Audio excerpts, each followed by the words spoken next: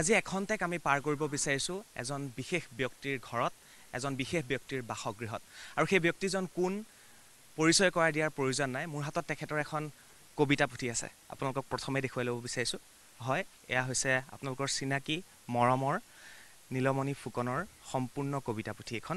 আৰু আজি কিয় আমি তেখেতৰ ঘৰত উপস্থিত হৈছোঁহি? এই বিষয়েও আপোনালোকক কোৱাৰ প্ৰয়োজন নাই। কিয়নো এইগৰাকী পদ্মশ্ৰী নীলমণি ফুকনৰ আজি উপজা দিন আৰু সেইবাবেই মই প্ৰথমে দেখুৱাইছোঁ সমগ্ৰ ঘৰখনৰ পৰিৱেশটো দেখুৱাইছোঁ। এখন কবিৰ ঘৰ আৰু যিখন ঘৰ আজি লোকে লোকাৰণ্য হৈ পৰিছে এইকাৰণেই আজি নীলমণি ফুকন দেৱৰ আজি উপজা দিন মই প্ৰথমে ছাৰ আপোনাক শুভেচ্ছা জ্ঞাপন কৰিছোঁ আমাৰ ফালৰ পৰা।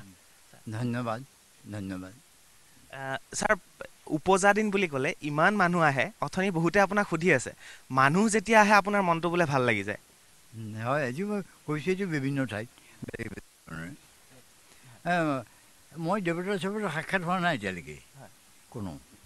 ব্ৰহ্মা বিষ্ণু মহেশ্বৰ যি নবলা লাগে কিন্তু মানুহকো পাইছোঁতো বহুত মানুহ পালোঁ জীৱনত বহুত বয়সো হ'ল এতিয়া। এই মানুহকে মানুহ যদি দেৱতা চেৱতা আছেও ইয়াত মই নেদেখাকৈ অদৃশ্য হৈ বা লুকাই। তেতিয়াহ'লে মই সেই মানুহকে দেৱতা বুলি ভাবোঁ। আৰু এইখিনিতে কওঁ যে দৰ্শকসকলক এয়াই হৈছে এখন কবিৰ ঘৰ নীলমণি ফুকন ছাৰৰ ঘৰ আৰু য'ত আজি উখল মাখল পৰিৱেশ এইকাৰণেই যে ইয়াত আজি নীলমণি ফুকন ছাৰৰ উপজা দিনৰ বাবে সকলো আহি সমবেত হৈছে। বিভিন্নজন আহিছে কণ কণ শিশুসকল যিহেতু ইয়াত আছে মই অনুৰোধ কৰিম তেওঁলোকক তেওঁলোকে ছাৰৰ বাবে যি লৈ আহিছে উপহাৰ দিব পাৰে এই মুহূৰ্তত দেই সকলোৱে। আৰু তাৰ মাজে মাজে মই যিসকল আহিছে তেওঁলোকৰ পৰা মই ছাৰৰ কবিতা শুনি যাম। নয়নদা আহ, ছাৰৰ কবিতাত আপোনাৰ আঙুলিৰ স্পৰ্শ হ'লে ভাল লাগিব। যদি সেইখন আপোনাক দেখা পাওঁ পিছত আমি দেখুৱাই যদি। ফুকনদাৰ লগত যদিও আমি ডেৰগাঁৱৰে প্ৰথম মই যেতিয়া গুৱাহাটীলৈ আহোঁ ঊনৈছশ সত্তৰ চনত ক'ব নোৱাৰোঁ কি কৰিম কি নকৰিম ঘৰৰ পৰা ওলাই আহিছিলোঁ মনে মনে। আহি গুৱাহাটীত জজ জজ ফিল্ডত থকা ঘৰটোত থাকিবলৈ আৰম্ভ কৰিলোঁ। আৰু তেতিয়া ফুকনদাক লগ পাওঁ। ফুকনদাক আগতেও পাইছিলোঁ ডেৰগাঁৱত ঘৰুৱা হিচাপে। আৰু তাৰপৰা যেতিয়াৰ পৰা ছবি আঁকিবলৈ আৰম্ভ কৰোঁ আচলতে ফুকনদা হ'ল আমাৰ পথ প্ৰদৰ্শক আমাৰ শিল্পীসকলৰ পথ প্ৰদৰ্শক। আৰু কবিতাবিলাকৰ সৃষ্টিৰ সময়বোৰ কেতিয়া আছিল? আপুনি যিহেতু একেবাৰে ওচৰৰ পৰা পাইছে কোন সময়ত চিন্তা কৰে কোন সময়ত বস্তুবোৰ লিপিবদ্ধ কৰে? তাৰমানে ঠিক তেনেকৈ ফুকনদা খুব ঘৰুৱাভাৱে আমি হয়তো পোৱা নাছিলোঁ। সময়টো ক'ব নোৱাৰোঁ ময়ো বাহিৰে বাহিৰে বাহিৰে বাহিৰে বহুত বেছি বেছি সময় বাহিৰে ঘূৰি ফুৰিছিলোঁ। আৰু মাজে সময়ে ফুকনদাক লগ পাইছিলোঁ আচলতে। ছবি বিষয় লৈ সাধাৰণতে কথা পাতিছিলোঁ আমি। আৰু বিশেষকৈ কথা পতাৰ মাধ্যমটো আছিলে ছবি। ছবি। আৰু আমাক দেখিলে ফুকনদাই ছবি বাহিৰে অন্য কথা কবিতাৰ কথা কেতিয়াও উলিওৱা নাছিল। ছবিৰ কথাই পাতে। ছাৰ এই ছবি আৰু কবিতাৰ মাজত এটা যোগসূত্ৰ আছে ছাৰ। মই যদি আপোনাক সুধোঁ ছাৰ ছবি চাই কবিতাৰ সৃষ্টি হয় নে কবিতা চাই পেলাই আচলতে ছবিসমূহ সৃষ্টি কৰা হয়? এনেকুৱা ধৰণৰ ওল্টা পোল্টা হয়। দুইটাই ওল্টা পোল্টা হয়। এই চৰ্চা হৈছে এটা সময়ত। এতিয়া সেইবোৰ চৰ্চা নতুনকৈ হোৱা নাই। কিন্তু অসমীয়া ভাষাত নাই হোৱা বুলি পেলাই মই কিবা কিবি এটা লিখিছিলোঁ।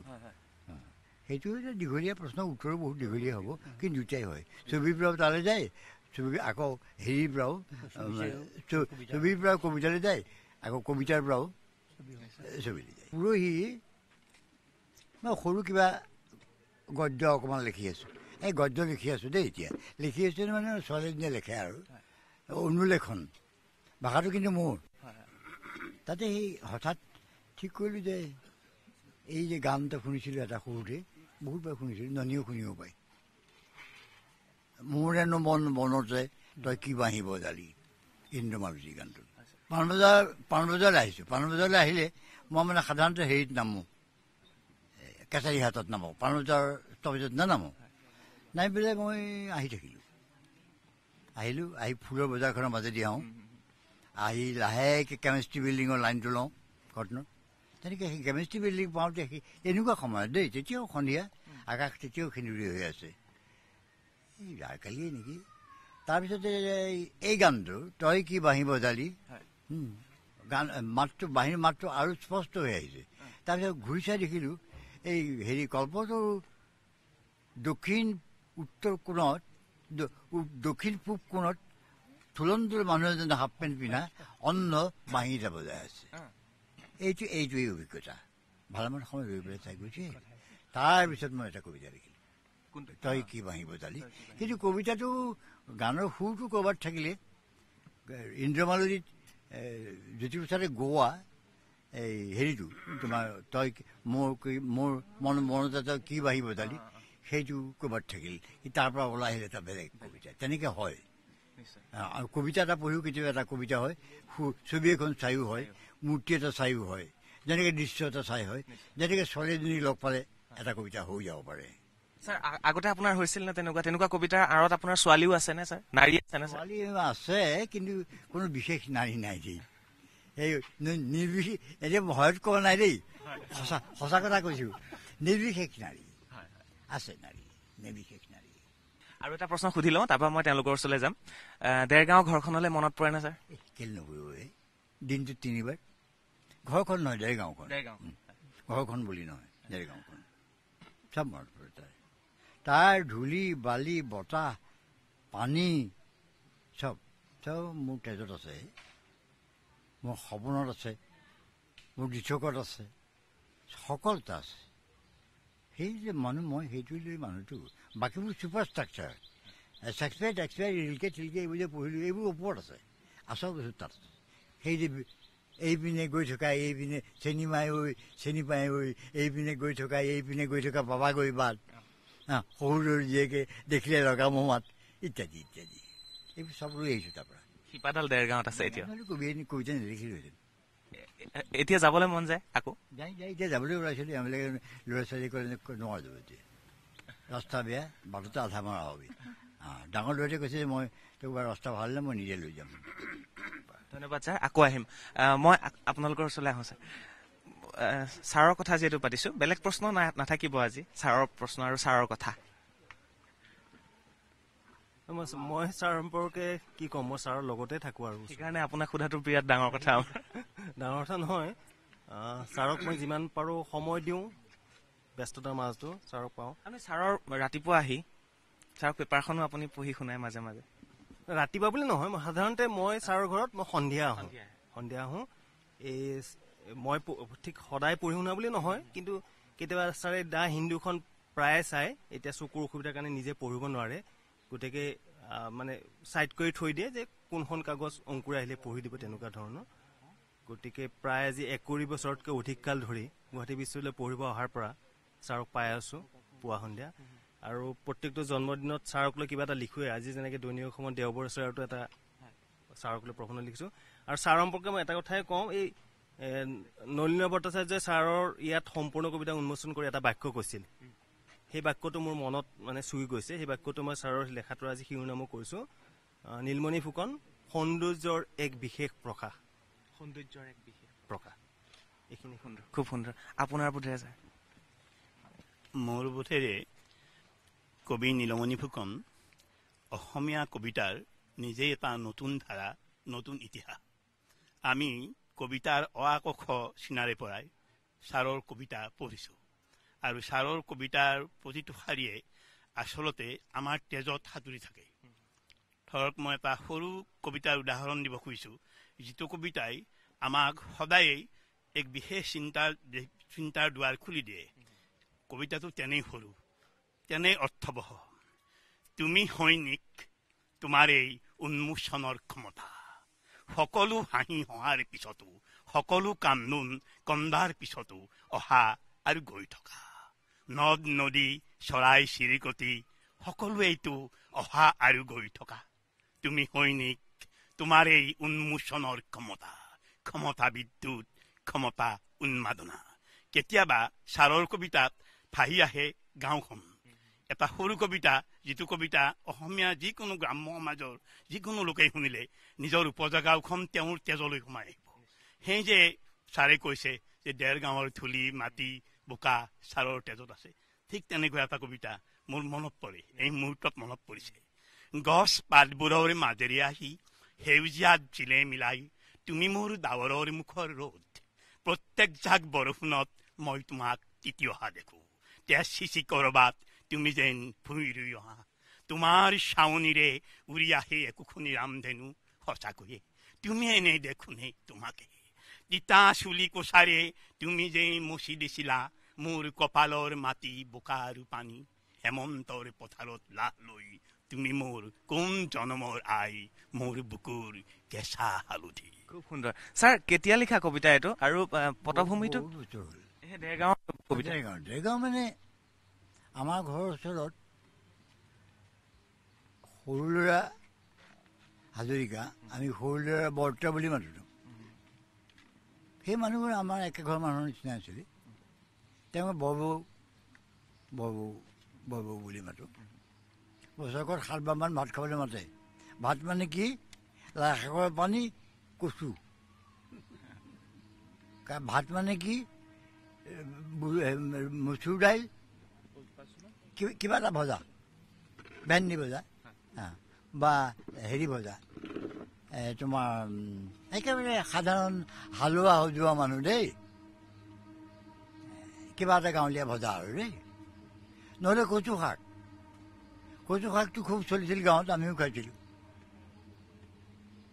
তেওঁ এই বৰবৌ যেতিয়া পথাৰৰ পৰা আহে ভুই ৰুই পেলাই মই বহুত দিন দেখিছোঁ বাৰু মই সৰুৰ পৰা দেখিছোঁ সেই ইমেজটো থাকি গ'ল ইয়াত সেইটো ইমেজ সেইটো এটা আৰ্কিটেক্ট নহয় ঠিক সেইটো সেইটো ইমেজ মানে পথাৰৰ পৰা আহিছে ইমানলৈকে তোমাৰ মেখেলাখন দাঙি আহে গোটেই গাত বোকা এইবিলাকত চিটিকনি ৰঙা ক'লা মানুহ বগা চগা পৰি আহিছে মাত সাহাই সাহাই কয় দুটা আঢ়ৈটামান বজাতে সেই দৃশ্যটো মোৰ এতিয়াও চকুত পৰি আছে সেইটো এই কবিতাটোৰ মূল ইনস্পিৰেশ্যন এই মোৰ আৰু ইয়াত এইটো ইণ্টাৰপ্ৰেশ্যন কৰিছে বেলেগ বেলেগ ধৰণে গোৱায়ে কি কৈছিলে মই মনত নাই পাহৰিছোঁ ইয়াত মানে মই সেই মানুহগৰাকীক অসম মাতৃ হিচাপে চাইছোঁ অসম মানে কৃষিজীৱী অসমৰ ছবি এখন মানে মাতৃ দেশখন সেইটোৱে আৰু লিখাটো লিখাটো লিখা সময়ত এইবোৰ নাই পিছত এটা ভিতৰত থাকে নহয় কবিবিলাকৰ মাজত এটা সুপ্ত ক্ৰিটিকেল মাইণ্ড মানে শৰৎচন্দ্ৰক হেৰি। তেতিয়া চাওঁতে দেখিছোঁ যে কম বেছি পৰিমাণে মাতৃৰ মানে দেশ মাতৃৰ প্ৰতি এটা বন্দনা হেৰি ট্ৰিবিউট টু মাদাৰলেণ্ড ছাৰ আমি আমি কবিতা এতিয়া মই আপোনাৰ কবিতাটো বেলেগ ধৰণে আমি বিচাৰ কৰিলোঁ বা আন এজনে বেলেগ ধৰণে বিচাৰ কৰিলে। আপুনি যেতিয়া এটা কবিতা লিখে সেই সময়ত আপোনাৰ মনটোৱে কি কয় বা আপ- আপোনাৰ দৃষ্টিভংগীটো কোনটো সেইটোতো আমি গম নাপাওঁ। কবিতাটো পঢ়াৰ পিছতহে গম পাওঁ ছাৰ এতিয়া তুমি এইটো কথা হ'লে কি বুজিছোঁ মানে তুমি কি ক'ব কৈছা কবিতাতে কবিতা লিখাৰ পিছত তুমি মোৰ ওচৰলৈ নহাতেই মই বিচাৰোঁ। ৰ'বা। কিয় বিচাৰোঁ? কবিতাটো মই নেলিখিলোঁ হেৰি যদি মুখেৰে তুমি মোক সুধিবলৈ আহিলাহেঁতেন আৰু এতিয়া মই জীয়াই থাক আছোঁ কাৰণে বা চিনি পোৱা কিবা এটা কাৰণে বা মোৰ ওচৰলৈ অহাটো তোমাৰ অকণমান সহজ। গতিকে আহি সুধিব পাৰা চাই এইটো কি লিখিছা বা তুমি গোবৰ লিখিছা বা ভাল লিখিছা? কিবা এটা ক'ব পাৰা। ইচ্ছামতে যদি সাহস থাকে। ধন্যবাদ মই হোৱা নাই। তাৰপিছত তোমাৰ তেতিয়া হ'ব কি?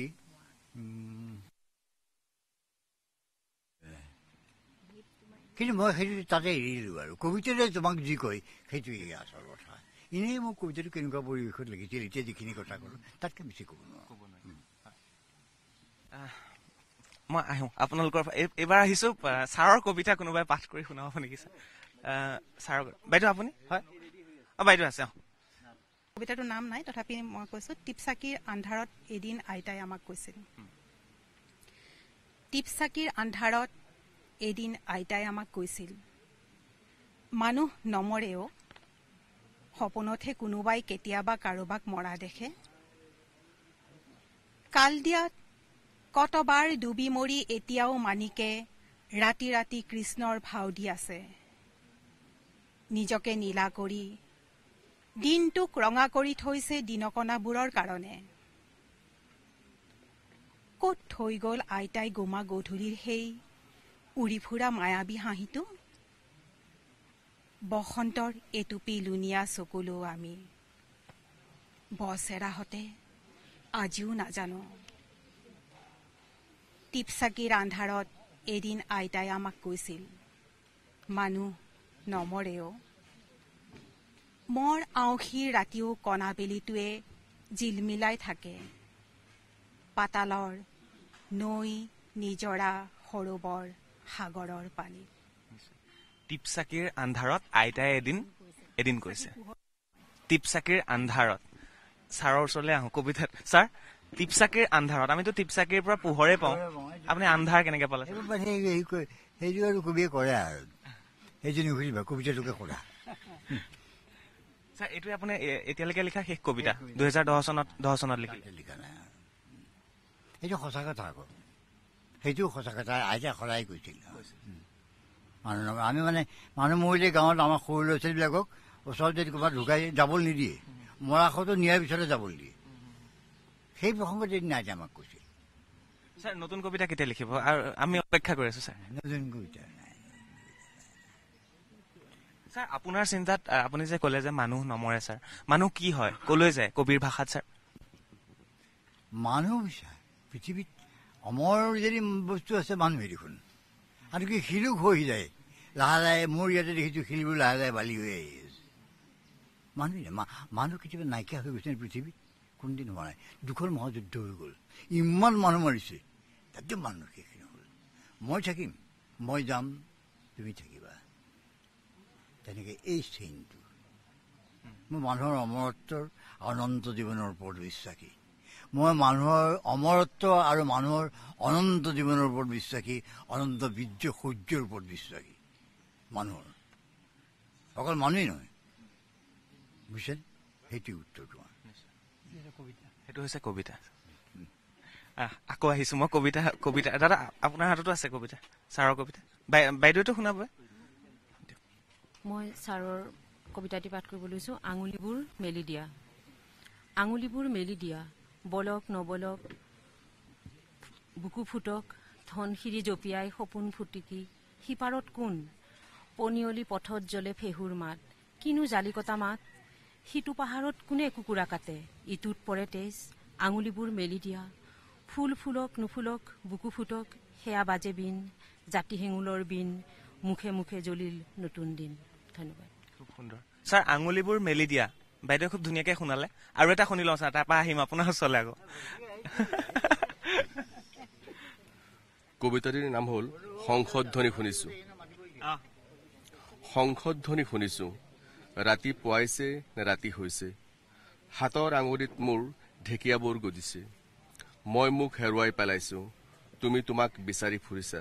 ক'ৰবাত ৰৈ আছো নেকি? নে গৈ আছো? আকাশ পাতাল আন্ধাৰ পোহৰ একাকাৰ হৈ পৰিছে। সংসদধ্বনি শুনিছো। বহু দিনৰ মূৰত এই জাক বৰষুণত তিতিছো। কালিদাসৰ সৈতে চৰ্মমতী নদীত নামিছো। ৰক্তাক্ত ছায়ামূৰ্তিবোৰে শৰীৰ ধাৰণ কৰিছে। শত সহস্ৰ হাত মেলি শূন্যতে ব্ৰহ্মাণ্ডক ধৰিছে। সংসদধ্বনি শুনিছো। উশাহতে মোৰ সেউজীয়া এজাক বতাহ লৈছো। মোৰ ভিতৰৰ পৰা মোক হাত বাউল দি মাতিছে। সংসদধ্বনি শুনিছো। সাজ লাগিছেনে ৰাতি পুৱাইছে? গোটেই গাতে মোৰ ঢেকীয়াবোৰ গজিছে। ধন্যবাদ। এজন ভাইটি আহিছিলে আহ, কিছু সময়ৰ পূৰ্বে। অকণমান উঠি আহিলে ভাল লাগিব। তুমি আহাচোন। আহ, ছাৰৰ বাবে এটা উপহাৰ লৈ আহিছিলে আৰু মই অকণমান ওচৰলৈ মাতিছো ছাৰৰ ওচৰলৈ। ছাৰৰ বাবে দুটা উপহাৰ লৈ আহিছিলা। কি আনিছিলা তুমি? এটা গোলাপৰ পুলি এটা জামুৰ পুলি। প্ৰথমে প্ৰথমে গোলাপী জামুৰ পুলি বিচাৰিছিলো নাপালো যিহেতু গতিকে দুটা পুলি আনিলো এটা গোলাপ এটা জামুৰ। খুব সুন্দৰ। মই অনুভৱ দাৰ ওচৰলৈ আহিছো একেবাৰে। ছাৰে আপোনাৰ নাম কৈ আছে অথনিৰ পৰা এইটো আপোনাৰ পৰা জানি লওঁ। ছাৰৰ কবিতা নে আপোনাৰ কবিতা? মই ইমান ছাৰৰ দিনত কবিতা গাব পৰা হোৱা নাই। হা, ছাৰৰ কবিতাই ছাৰৰ উৎসৱ ছাৰৰ কবিতা। ছাৰে কিবা ক'ব খুজিছে? ছাৰ হয় আপোন মানুহ। সেইকাৰণে মই ক'বলৈ বিচাৰিছোঁ। প্ৰণীপ বৰঠাকুৰ আমাৰ ঘৰৰ কাষৰ মানুহ ঘৰৰ ল'ৰা। দেই আৰু তেওঁ তেল কি আছিলে তোমাৰ? O' N G C director general হৈছে আৰু মোক মই এটা কথাৰ কাৰণে মই চিনাকি কৰি দিব খুজিছোঁ দেই। মই সেই কথাটো সদায় বৰ প্ৰতিভাৱান বা সেইবিলাক জানিছাই তোমালোকে? অঁ। ইয়াৰ ইয়াৰ মানে প্ৰণীৱৰ দাদা ককায়েক দিলীপ বৰঠাকুৰ একেলগে ডাঙৰ হৈছোঁ মোৰ প্ৰথম কিতাপখন তেওঁৰ নামত উৎসৰ্গা কৰিছিলোঁ। ঢুকুৱাৰ আগলৈকে সেই কাফকা অমুক তমুক ভুজুক তাৰপৰা চাৰ্কভস্কি কত ৰকমৰ বিচিত্ৰ কথা আমাৰ মাজত। তাৰপিছত এও এটা কথা মোক সদায় কয় ননিদা মই যে বকিয়াল বা চাহ বাগিচাত বনোৱা ল'ৰাৰ লগত থৈলাত বহি পঢ়া শুনা কৰিছিলোঁ। মই সেই কথাটো শুনিলে একদম মানে যে মাটিৰ মানুহ মাটি হৈ আছে। মাটিৰ মানুহ মাটি হৈ আছে। সেইকাৰণে মই চিনাকি কৰিলোঁ। অঁ জানিছোঁ ভালে আছা বৰ ভাল লাগিছে আৰু এয়াই হৈছে এখন কবিৰ ঘৰ এয়া হৈছে নীলমণি ফুকন ছাৰৰ ঘৰ। আৰু আজি পৰিৱেশটো এনেকুৱা ধৰণৰ এটা পৰিৱেশ। সকলোৱে শুভেচ্ছা জ্ঞাপন কৰিবলৈ আহিছে ছাৰক। আৰু ছাৰৰ মুখত হাঁহি দেখিবলৈ পোৱা গৈছে। ৰসাল এগৰাকী ব্যক্তি। সেয়া ছাৰ মই অনুভৱ দাৰ ওচৰলৈ আহিছো। অনুভৱ দা অকণমান মাজলৈ আহিব নেকি? অনুভৱ দাৰ পৰা আমি ছাৰৰ কবিতা এটা শুনি লওঁ। তাৰপিছত আমি ছাৰৰ লগত কথা পাতিম আৰু যিসকল ইয়াত উপস্থিত হৈছে তেওঁলোকৰ পৰা আমি কবিতা ইটোৰ পিছত সিটো শুনি গৈ থাকিম। ছাৰ। মই ছাৰৰ প্ৰেমৰ কবিতা এটা পঢ়িব খুজিছো। ছাৰে প্ৰেমটো অতি সংগোপনে ৰাখে। কেতিয়াও মানে ৰাজহুৱা কৰি নিদিয়ে। তথাপিও মানে কবিজন লুকাই থাকিলেও কবিতাটোতো আমাৰ পৰা লুকাই নাথাকে নহয়। আৰু কবিতাই যিখিনি কথা কয় সেইখিনি ৰাজহুৱা হৈ যায়। আৰু যিখিনি কিন্তু ছাৰে মুকলিকৈ একো নকয় চব প্ৰতীকেৰে কয় কথাবিলাক। আৰু ৰূপকৰ সহায়ত কয় বিম্বৰ সহায়ত কয় তেনেকৈ কয়। মই মৈথুন সংগীত বুলি ছাৰৰ কবিতাটো পঢ়ি দিছো অৰণ্যত অৰণ্যৰ ভিতৰত হাৰেং চৰাইৰ মাত। মেলি দিয়া দুটি বাহু। মাৰ জক থুপি বাহ তোমাৰ চুলিৰ গন্ধত। পদুমণিৰ পুখুৰীৰ মন্দিৰত বতাহ দেহত তোমাৰ দেহাৰ ভিতৰত এতিয়া আপাহ ৰঙা ফুল। থুৰ মেলা তালপাতটোত ধাৰাসাৰ বৰষুণ জাক তোমাৰ স্তনৰ ৰক্ত তোমাৰ ওঠত এতিয়া তোমাৰ দিঠক আন্ধাৰৰ আৰক্তিম মুখ পাহাৰত মেঘৰ গৰ্জন। খুব সুন্দৰ। ছাৰ আপোনাৰ কবিতা প্ৰেমৰ কবিতা এটা শুনালে অনুভৱ দে। এতিয়া ডাঙৰ ডাঙৰ ডাঙৰ কবি হৈ গৈছে। বৰ ধুনীয়া উচ্চাৰণ তাৰ। অসমীয়া শব্দৰ ভাষাৰ বৰ দখল আছে। আজি অলপ সৰুকৈ মাতিছে ভালকৈ মতা নাই। নিজে নিজৰ কবিতা এটা মাতিব বুলি আছিলোঁ মুখস্থ থাকিব মুখস্থ নাই হা? আৰু এটা মাতিব তোমাৰ তোমাৰ কবিতা এটা মাতি দিয়া। দিয়ক অনুভৱ দাই কৈছে এজন কবিৰ প্ৰেমটো লুকাই থাকিব পাৰে কিন্তু কবিতাত সেই প্ৰেম কিন্তু প্ৰকাশ পায় আৰু ৰাজহুৱা হয়। তেখেতে কৈছে। হ'ব ঠিকেই কৈছে নে? ঠিকেই কৈছে শুদ্ধ কৈছে অশুদ্ধ কৈছে তাকে সোধাবা। মই এতিয়া সেইটো অতিক্ৰম অতিক্ৰম কৰি আহিলোঁ এই এই কিন্তু মহাপ্ৰেমিক মানুহ দেই। মই ক'লো।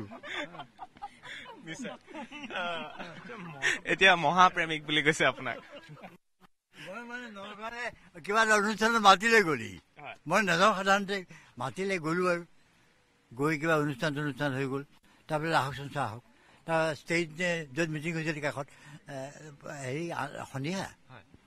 তাৰ এগৰাকী ভদ্ৰ মহিলাৰ লগত চিনাকি কৰিলে ছোৱালী মানুহ মই ভাবিছোঁ ইয়াত ক'ত ডালমে চোৱা কালাই।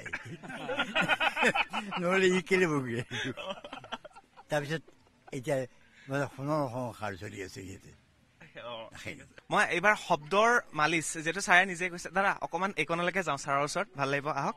আহ, শব্দৰ মালিচ দিবলৈ আহি আছে। আন এগৰাকী কবি। ছাৰ কবিতাটো পাঠ কৰিব। শুনিব আপুনি। আমি আমি শুনিবলৈ ৰৈ আছো। মই তাৰ আগতে ছাৰৰ প্ৰতি শ্ৰদ্ধা জনাই ছাৰৰ আটাইতকৈ চুটি কবিতাটো মাতি দিছো। নিশ্চয়।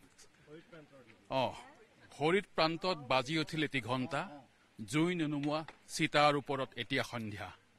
এইটো ছাৰৰ আটাইতকৈ চুটি কবিতা। ছাৰ আচলতে মানুহ হোৱাৰ বাবেই কবি হৈছে ছাৰ। প্ৰথমতে মানুহ তাৰপাছত কবি তেখেত। গতিকে আমি মই ছাৰৰ প্ৰতি মোৰ গুৰুত্বটো ইমানেই মানে ইমানেই মোৰ মই গুৰুত্ব দিওঁ কিবা এটা লিখাৰ কাৰণে সদায় ছাৰৰ ছবিখন মই মনলৈ আহোঁ। কিবা এটা কিবা এটা লিখাৰ সময়ত মোৰ চকুৰ আগত ছাৰৰ ছবিখনে থাকে। অ এইটো নীলমণি ফুকন চাই পঢ়িব। গতিকে মই তেনেকেই লিখিব লাগিব। আমি শব্দৰ মালিচ এটা খুব সুন্দৰ কবিতা ছাৰে যিহেতু অনুৰোধ কৰিছে গতিকে সকলো সাজু হৈছে আৰু মই সম্পূৰ্ণ এবাৰ পৰিৱেশটো দেখুৱাই লৈছো তাৰ মাজতে। কেক সাজু হৈছে ছাৰৰ আজি উপজা দিন ইয়াত কেক কটা হ'ব ছাৰক শুভেচ্ছা জ্ঞাপন কৰা হ'ব। ছাৰ কেক কাটিব বোলে?